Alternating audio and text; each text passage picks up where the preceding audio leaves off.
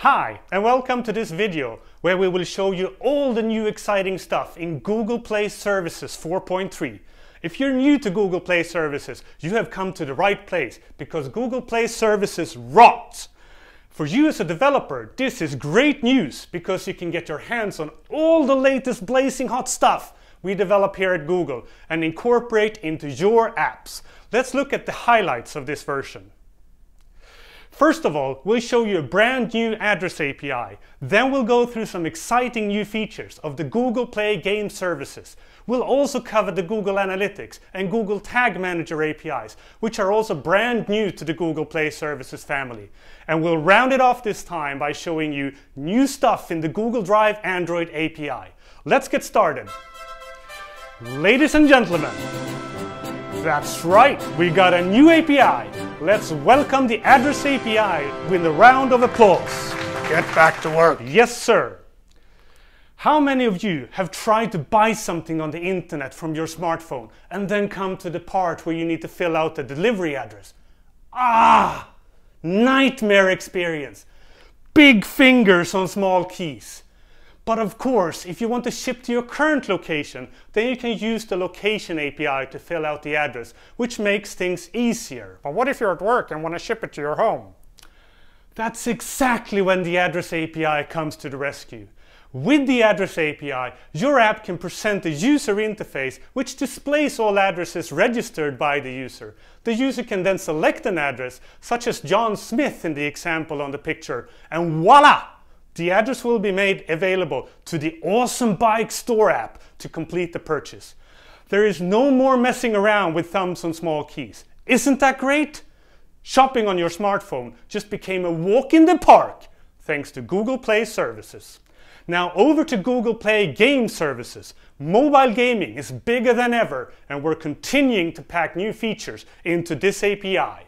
With this release, we've introduced Game Gifts, which allows players to send virtual in-game requests to anyone in their Google Plus circles or through player search.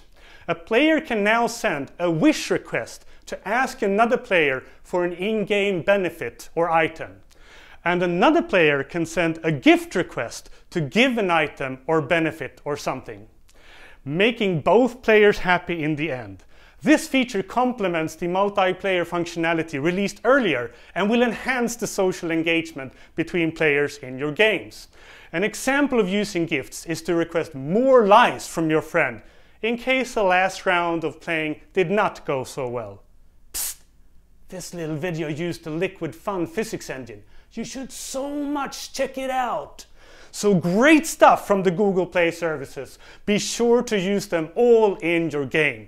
Let's now move over to the Google Analytics and Google Tag Manager APIs. And ladies and gentlemen, that's right, these are all new APIs. Let's welcome the Google Analytics and Google Tag Manager APIs with a round of applause. Get back to work. Yes, sir.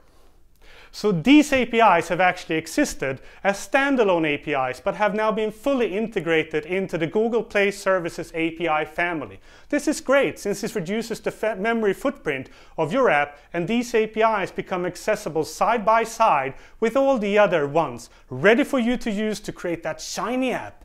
So let's look at what these APIs contain. We'll start off with the Google Tag Manager, which lets you use tags in your apps instead of hard coding values. These tags are then substituted for values that you have stored in the Tag Manager at runtime. This can, for example, be used to manage background colors of your app, game settings, and localization settings. Since the values of the tags are stored in the Tag Manager, this eliminates the need to push your entire app from Google Play again. You can simply change the value of the tag in the Google Tag Manager. That brings us over to the Google Analytics API. And if you haven't used Google Analytics before, I strongly encourage you to take it for a test ride. Google Analytics allows you to get detailed statistics on how your app is being used by your users. For example, what functionality of your app is being used the most, or which activity triggers the users to convert from an advertisements app to a paid one. So that stuff can be pretty, pretty good to know. To get your users happy, but also to get your next month's paycheck. So be sure to check the Google Analytics API out because it can really provide lots of valuable information to you. Which brings us to the Google Drive Android API. As you may know, the Google Drive Android API was officially released in the last version of Google Play Services, and it's off to a flying start with a number of API enhancements. First off is pinning. You can now pin files that should be kept up to date locally. This ensures that the app can work with these files even when the user is offline. Then we have app folders, which allows your app to create files which are no longer visible to the user. For example, to store temporary files in a photo editor. This is the same function as the application data folder in the Google Drive API that have existed for a while. With this version, we also have change notifications, which makes it possible to register a callback and receive a notification when a file or folder is changed. This means that you no longer need to query a Drive continuously to check if the data has changed. Just put a change notification on it and the API will call you when it happens. And then we've also made a number of enhancements to metadata information, which is something you can never get enough of. Well, to satisfy that craving you may have for metadata, you should be happy to hear that we've added a bunch of new fields in this version. So that's it for this release of Google Play Services. But stay tuned because we got lots more coming up. Now it's your turn, so go out there and create great apps!